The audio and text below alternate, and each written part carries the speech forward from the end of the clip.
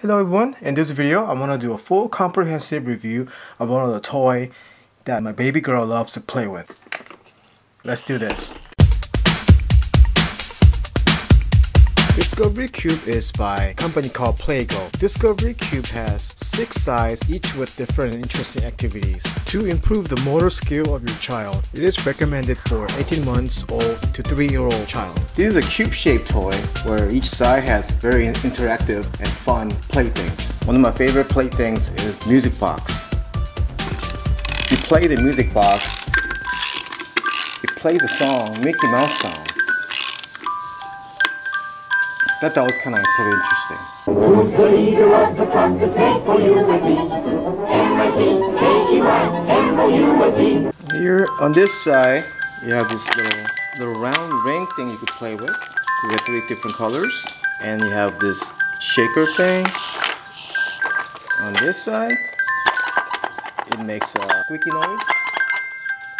The ladybug will slide up and down, and this butterfly you could turn this thing and make a little sound. On this side, you have a lot of things going on here. Bottom slide thing has four different color rings you can slide through. On the top slide, you have this four different color butterflies you can slide through to play with. And then here you have these wheels you can turn. That makes it very, very fun and interactive. Yippee!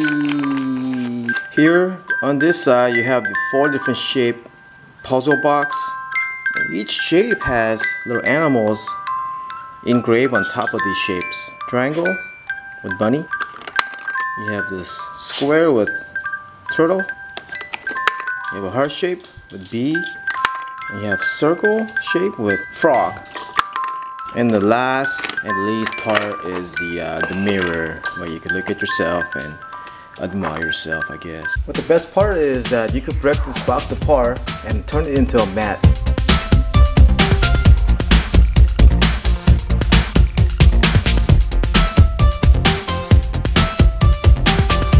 And you could put it together any way you like.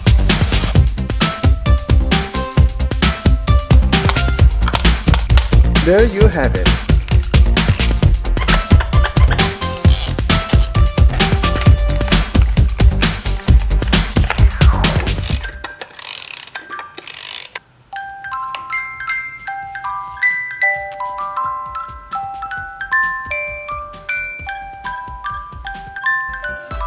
You can put it together any way you like, but I like to put the uh, mirror on the bottom.